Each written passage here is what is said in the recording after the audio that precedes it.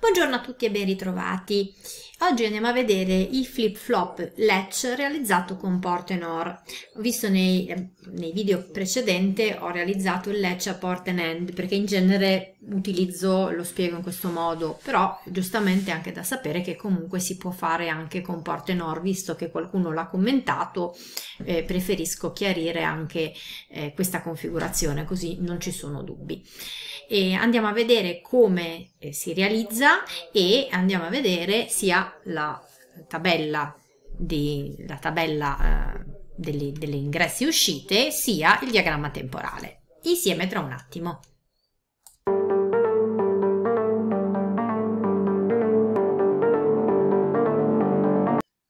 Bene, sia pure i flip flop poi li trovate sempre come un rettangolino in cui in questo caso abbiamo eh, set, reset, Q e Q negato, dove ovviamente il set mi porta l'uscita a 1, reset me la porta a 0 e all'interno possiamo pensare che siano collegate delle NOR in questo modo. Fate attenzione che in questo caso se avete qua Q e Q negato vengono scambiati, il set finisce qua sotto all'ingresso di questa NOR e il reset in quella di sopra.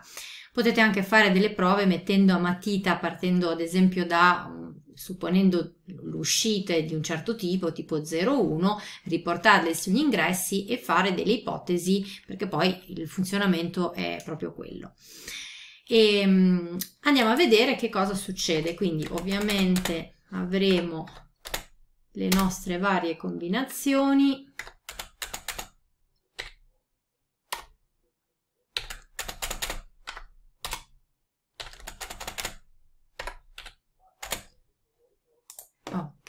così vediamo che cosa succede va nei vari casi. Allora quando abbiamo eh, la combinazione 00 abbiamo la memorizzazione quindi andiamo rimaniamo nello stato precedente. Quindi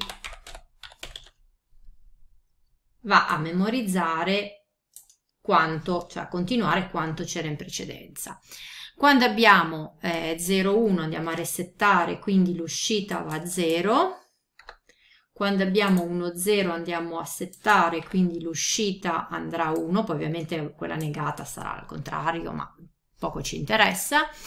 E eh, quindi abbiamo fatto, abbiamo detto qui resetta, resetta, qui setta, e questa invece è una configurazione non utilizzata quindi.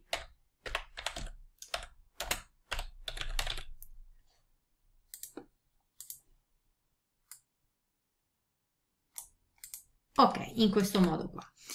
E, ehm, allora quindi vediamo un attimino quello che, quello che abbiamo. È ovviamente un'uscita o alta o bassa e vediamo ad esempio per facendo delle ipotesi di diagramma temporale.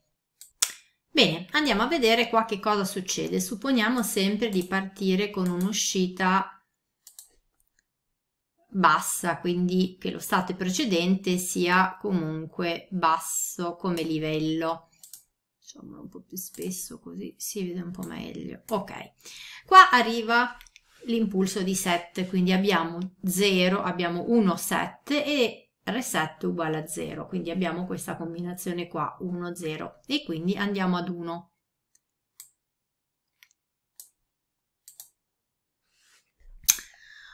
poi arriviamo qui quando l'uscita è 1, qua ci troviamo 0, 0 in questa fettina qua e quindi rimane la condizione precedente memoria, per questo che si chiama latch, vuol dire che si blocca, dà la possibilità di memorizzare un bit e quindi rimane stato precedente che era 1 rimane ad 1. Ora arriva il reset, quindi ci troviamo a 0, 1, resetta, quindi va a 0 e ci troviamo qui. Poi ci troviamo di nuovo nella condizione 00 e quindi rimane stato precedente fino a qua. Dopodiché set va 1, va 1 e rimane ad 1 fino qua, poi trova di nuovo 0, 0, quindi rimane nella condizione precedente fino qua, e poi resetta perché si trova il reset a 1.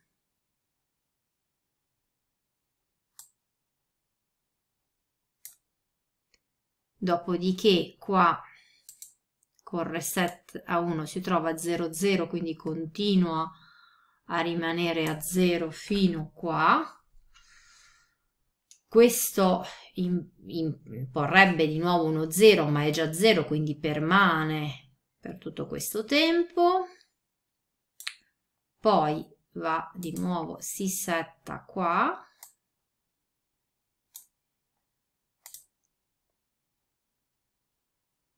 Va alto qua.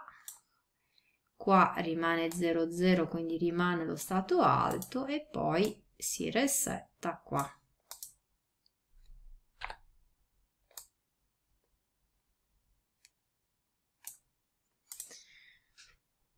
Ok? Quindi sappiamo che la combinazione 1-1 non è utilizzabile perché creerebbe comunque una forzatura, entrambe eh, forzerebbero il livello 0 sull'uscita e insomma una o è QQ negato non, non sarebbe, creerebbe appunto dei conflitti e quindi è importante non poter, eh, poter fare in modo di non avere entrambe eh, entrambi gli ingressi a livello alto.